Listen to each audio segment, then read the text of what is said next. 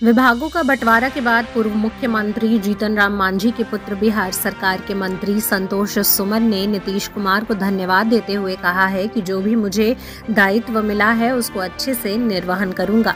वहीं जीतन राम मांझी के द्वारा दो मंत्रिमंडल की मांग किए जाने को लेकर कहा है, ये उनका व्यक्तिगत राय है, पार्टी के लिए मांग किए हैं तो सही है। देखिए, अभी नया विभाग मिला है। जाके देखते हैं क्या है लेकिन मैं नहीं कहूँगा जो जन्मदेही मिली है मैं उसका निर्माण करूँगा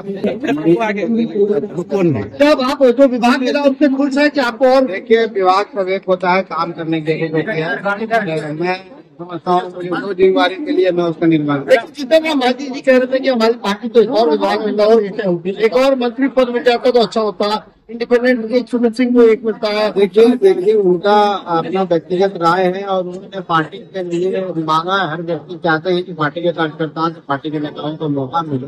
लेकिन जो भी है हम इस इस पर अभी कोई बात नहीं करना चाहते हैं। जो भी मिला है हमें इसके लिए हम माननीय मुख्यमंत्री जी को धन्यवाद देना चाहते हैं और इस, इस विभाग का जो मिला है मैं उसके बखूबी अपनी पूरी क्षमता के साथ इसका दायित्व पर अगला कैबिनेट एक्सपेंशन में बात करेंगे बीजेपी से और और आपको बातें होगी या नहीं होगी अभी कैमरे पर बोलने की नहीं है बात होगी तो देखा जाए। लेकिन आपके पिताजी ने तो बड़ी बात कही थी ना कि मुख्यमंत्री पद का मैंने त्याग नहीं ये सब बातें हवा में है वो कोई न कोई इधर उधर की बातें करता है। हम लोग के पास ऐसी कोई आधिकारिक बात नहीं आई कोई हम लोग कुछ पद दे रहा इस तरह।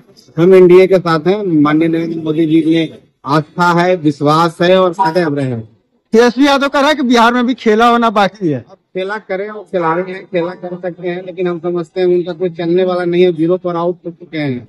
अब दोबारा उनको मौका नहीं मिलेगा। चल।